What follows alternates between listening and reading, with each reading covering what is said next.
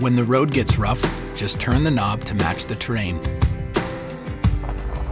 And you'll have control over virtually any surface. It's engineering we can all love.